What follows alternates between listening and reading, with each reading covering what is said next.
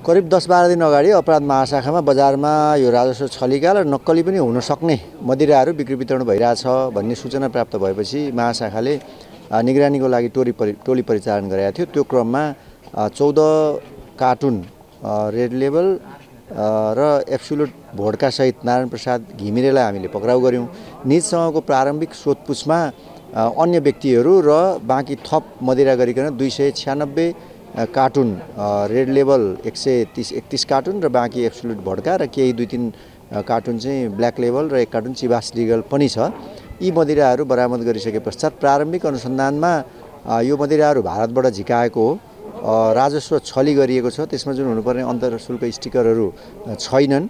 त्यसको चाहिँ करिब करिब यो कुन हिसाबले बिक्री वितरण हुँदो रहेछ भन्दा झिकाएर इन्डियाबाट आइसके पछाडि विभिन्न लिकर सपहरू मार्फत विशेष गरिकन पार्टी प्यालेसहरूमा यो मदिराहरू सप्लाई हुँदो रहेछ र यसको अहिले बजार मूल्य चाहिँ करिब एक करोड पचास लाख जति छ।